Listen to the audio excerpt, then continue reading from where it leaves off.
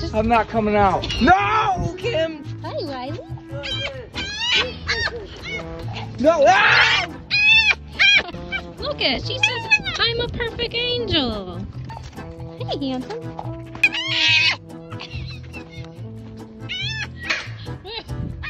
What are you doing? Why would you do that?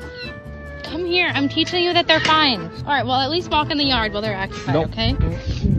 Ow, Porky's coming. Brayden, don't close yourself in there. Wiley, Oh wait, you didn't get one. See, look. just walk casually by him. Look at, he's fine.